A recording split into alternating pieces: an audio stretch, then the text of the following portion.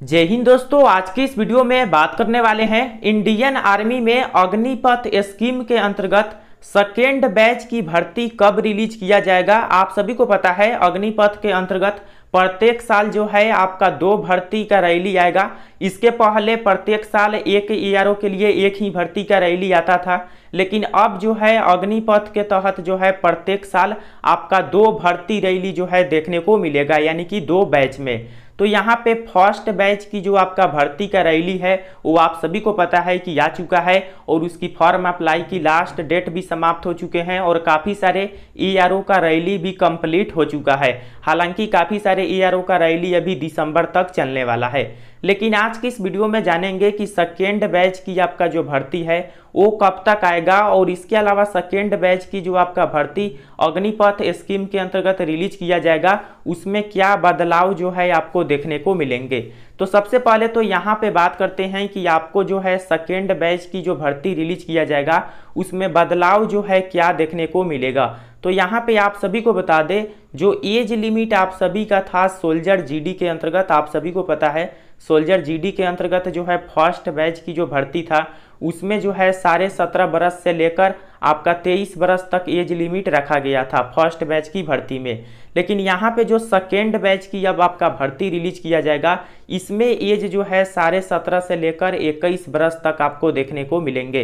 तो यही जो है एक बदलाव आपको देखने को मिलेगा सोल्जर जीडी का जो पोस्ट है उसमें, क्योंकि उसमें बताया गया था कि एज लिमिट जो तेईस बरस मैक्सिमम है या केवल इस बैच की भर्ती के लिए है। बाकी आने वाले जितने भी वैकेंसी है, सभी में इक्कीस बरस ही रहेगा।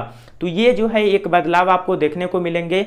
इसके अलावा जितने भी आपका डिटेल्स है, जैसे कि क्वालिफिकेशन सैलरी सभी कुछ जो है आपका सेम ही रहेगा। अब यहाँ पे बात करते हैं कि अग्निपथ के तहत सेकेंड बैच की जो भर्ती का नोटिफिकेशन है, वह कब से रिलीज़ किया जाएगा अलग अलग ए का। तो यहाँ पे मैंने आपको पहले भी बताए थे कि अग्नि इंडियन आर्मी के तहत इंडियन आर्मी के तरफ़ से अग्निपथ स्कीम के तहत जो है, जितने भी भर्ती होने वाला है, उसका कैलेंडर जो है आज से कुछ दिन पहले रिलीज़ किया गया था। और उस कैलेंडर में बताया गया था कि जो सेकेंड बैच का आपका भर्ती है सेकेंड बैच के लिए जो अग्निपथ तहत, अग्निपथ स्कीम के अंतर्गत भर्ती है, वो जो है आपको फरवरी 2022 में देखने को मिल जाएगा। यानी कि फरवरी 2022 में जो है सेकेंड बैच की जो भर्ती का रैली है, वो आपको देखने को मिलेगा। क्योंकि यहाँ पे आप सभी को बता दें, पंद्रह जनवरी तक जो है, जितने भी फ़र्स्ट बैच की आपका भर्ती रिलीज़ किया गया है, उनका सभी डिटेल्स यानी कि कंप्लीट जो सिलेक्शन प्रोसेस जो है হয় पंद्रह जनवरी तक कंप्लीट करा लिया जाएगा, यानी कि पंद्रह जनवरी को लास्ट रिटर्न एग्ज़ाम है अग्निपथ के फ़र्स्ट बैच की भर्ती का। तो उसके बाद जो है फरवरी 2022 में सेकेंड बैच का जो है आपको भर्ती देखने को मिल जाएगा।